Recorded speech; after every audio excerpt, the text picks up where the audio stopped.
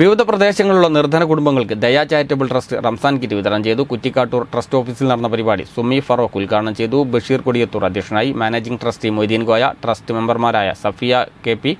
Raheeda Haseena K P Kunjamina Waheeda Muneer തുടങ്ങിയവർ പങ്കെടുത്തു